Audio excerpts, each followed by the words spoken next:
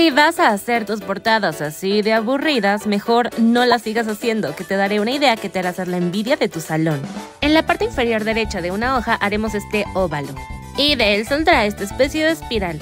Nos guiaremos del óvalo para que salga bien redondito y haremos esa línea. Agregamos dos manitas de palito y los ojitos. Y cuando se vea algo así, repasaremos todo con pluma o plumón negro y le haremos una lengüita.